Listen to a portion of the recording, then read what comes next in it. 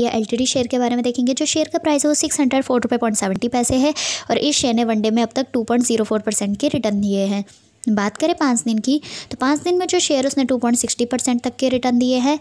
One month में देखें तो वन मंथ में जो शेयर है उसने nine point twenty eight percent के रिटर्न दिए हैं। सिक्स मंथ की बात करें तो सिक्स मंथ में जो शेयर उसने twenty point sixty nine percent के रिटर्न दिए हैं। ईयर टू डेट की बात करें ईयर टू डेट में शेयर ने फोर पॉइंट टेन परसेंट के रिटर्न दिए हैं।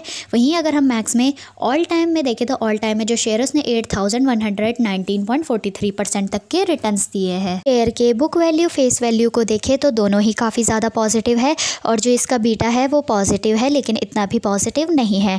तो अभी इस शेयर को होल्ड करके रखिए, आगे इसके रिटर्न्स आपको पॉजिटिव ही मिलेंगे। शेयर के रिटर्न्स को देखें तो पिछले पाँच सालों में जो शेयर के रिटर्न्स है वो पॉजिटिव चल रहे हैं और अभी भी इसके रिटर्न्स पॉजिटिव ही आए हैं। शेयर के रेजिस्टेंस और सपोर्ट को देखिए, जो इसका पहला सपोर्ट है वो फाइव हंड्रेड एटी फाइव रुपये पॉइंट फिफ्टीन पैसे है।